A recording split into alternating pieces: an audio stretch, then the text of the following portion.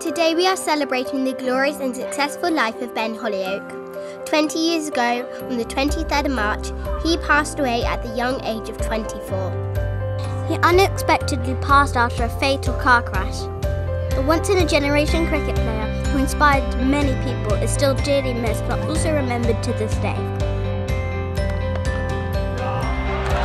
There's nothing naive about that.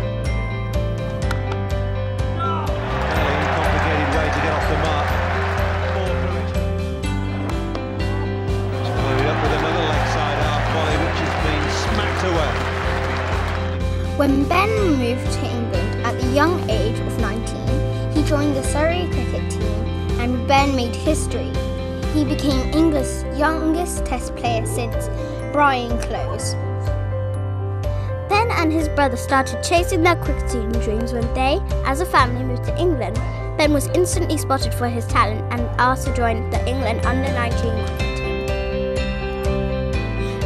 Ben Hollioake scored 309 runs in 20 ODIs, and he had scored 44 runs in total from Test matches. He also earned 20 ODI caps in his career. And uh, I think those are the runs. Down to fine leg. It's gone through for four. Stewart grabs a stump. Thorpe grabs a stump.